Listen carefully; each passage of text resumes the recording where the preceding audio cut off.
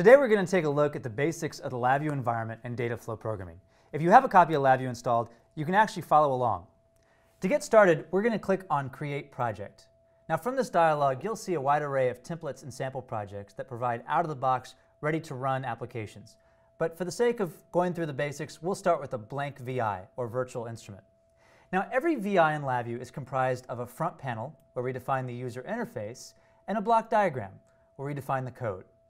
Now, we can right-click on either of these to explore the variety of different items we can place on the front panel or block diagram. On the front panel, we can, for example, place graphs, charts, we can place uh, knobs in this case, and all of these can be fully customized, changed, recolored, etc.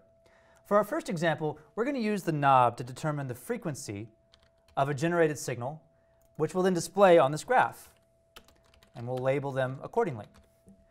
Now, if we want to navigate between the front panel and the block diagram, we can actually double click on any of these components and it'll take us to the corresponding item on the other panel. In this case, double clicking on the graph took me to its terminal on the block diagram. Now, the frequency needs to actually generate a sine wave. To do this, I'll right click on my block diagram and here we see the wide array of functions and analysis routines I can choose from. I'm going to go into my signal processing palette and explore the uh, waveform generation palette. Now, as you'll see, there's a wide array of functions and different utilities we can take advantage of.